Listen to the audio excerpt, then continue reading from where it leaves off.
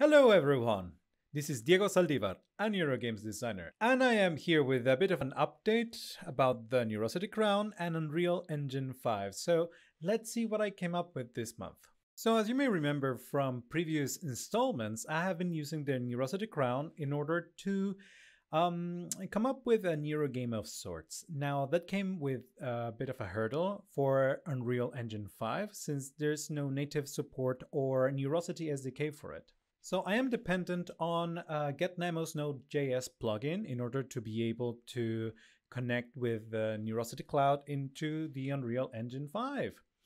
Uh, however, there's a bit of an issue there. Apparently, there's a bug when exporting to Windows, and it can only export to Windows. It doesn't support iOS or Android or Linux, anything else. So, okay, I can use it in the engine. Shout out to Bastian Kubarek, who has been checking out my previous code as well as thinking about creating a Neurosity SDK. Um, kudos if you can, man. And if you can, please give me a shout out. And I would like to try to adapt my next code to your SDK.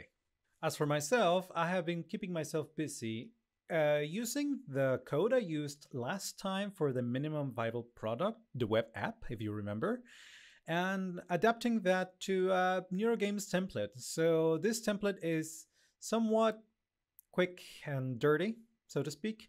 Um, there's many things that may not be super clean, but I try to clean up the code and comment it as much as I can so that people understand what's going on, especially because the Node.js plugin doesn't quite stop when a blueprint is destroyed uh, when switching levels. So you have to explicitly shut it down before moving a level. More about that in the code itself, in the blueprints.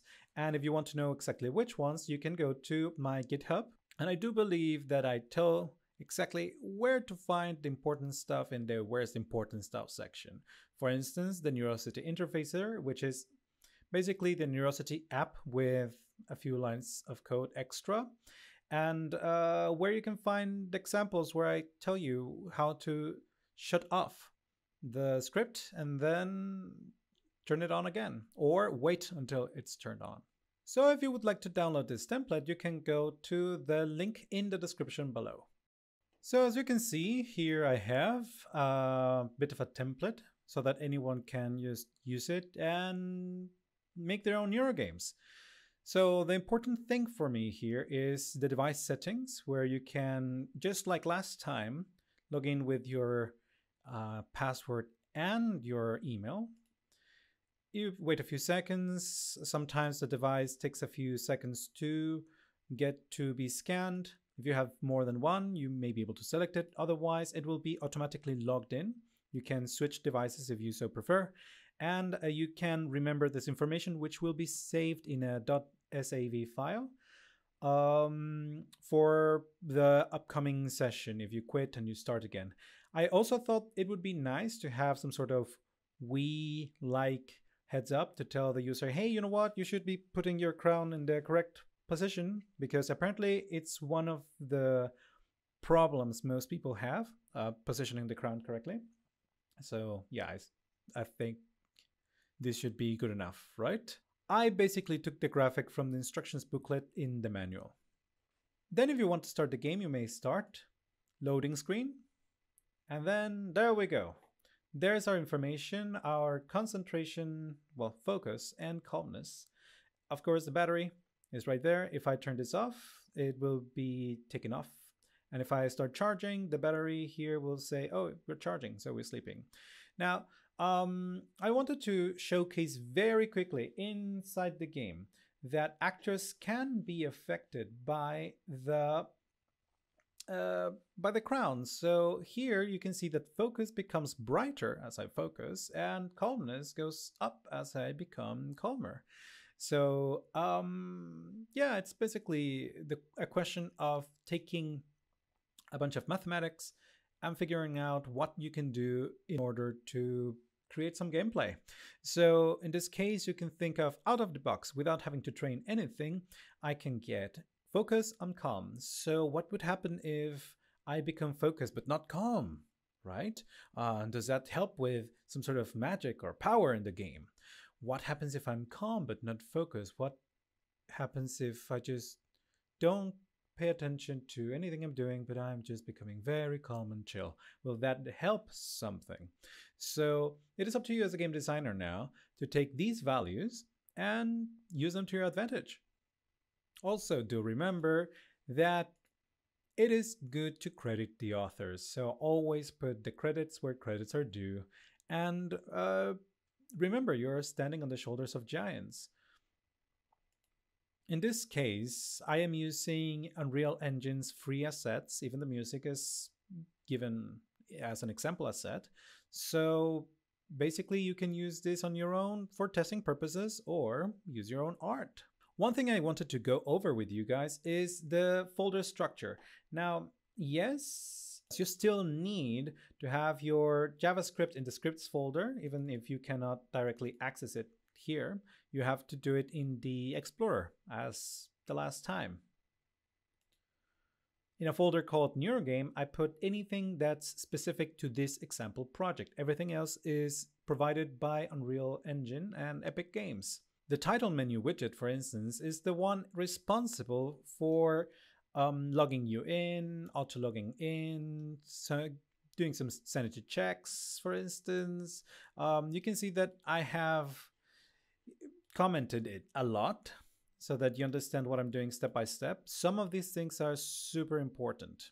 For instance, the Neurosity interface, beforehand it was called the app. Now it is the interface because it is what is interfacing between the engine and the crown and, you know, the interfacer. Now, uh, I have put in red something very, very important, which is how to terminate the script before going into the next level because uh, the Node.js plugin doesn't do that automatically. So as you can see, I added a new line in the script to just process exit, just terminate the script, because otherwise uh, the blueprint will be destroyed upon entering a new level, but the script will not stop. So you will be instancing a new blueprint that's listening to a script that never stopped, so it doesn't quite bound uh, you need the script to restart to bind the listeners to the emitters. Uh, so yeah, there you go. The way I do this is, let's say for instance that I want to go to the example level from this title menu. So there's a button start to start the game. So the first thing I do is I get my Neurosity interface and I call on exit called function so that the script is stopped. Then I open the level. As soon as I start the first level, I bring up a loading screen. Wait, please, while everything is going on. Then I will be fishing the Neurogame instance and the save game instance in order to be able to then auto login. What's happening here is I am instantiating a new um, Neurogame instance in order to uh, listen to the script. So since Node.js knows that the script is stopped, it will restart it and bound any listeners to the emitters in this new Neurogame instance. And then I tell it to wait and wait and wait until the script is begun. If the script has not begun, I do not do anything else. Then we work with whatever else. Now, this is a bit, a bit of an innovation. I had to delay stuff until the device is selected, until we are logged in, until the, um, the script is running.